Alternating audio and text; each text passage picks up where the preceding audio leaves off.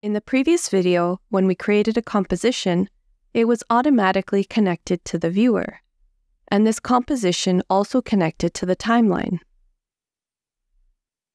The timeline has a dual role in the creative process.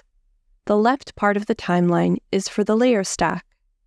This is where the various graphic elements will be stacked, like we described in previous videos using the hamburger analogy. The right part of the timeline is made up of the dope sheet, which lets us define the timing of these elements, whether or not they're graphic elements. Just like with the viewer, it's possible to disconnect and reconnect a composition to a timeline. If we take a look at the composition parameters in the Properties panel, we can see that its duration is currently 30 seconds.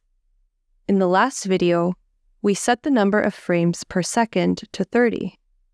This means that in the span of one second, for example, between 0 and 1 second, Autograph will produce 30 images. It's important to remember that Autograph uses seconds as the base unit of time. Some compositing software work with frames as the base unit. Here, we're only concerned about the frame rate when playing the sequence. The concept of timing in Autograph is very important. Whether you're working with sound or you need to synchronize animations, it's really important to remember that Autograph's unit of time is seconds. Later on, we'll go over the several ways to represent this duration. We'll also see how to work with multiple timelines at the same time and how to connect a specific timeline to a viewer. That's why at the bottom of the viewer, you'll see an indicator where you can select the timeline that manages timing.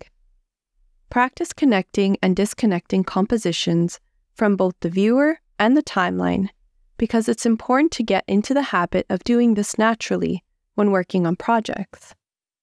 In this video, we went over how to connect a composition to a timeline, set the composition duration, and set the composition frame rate.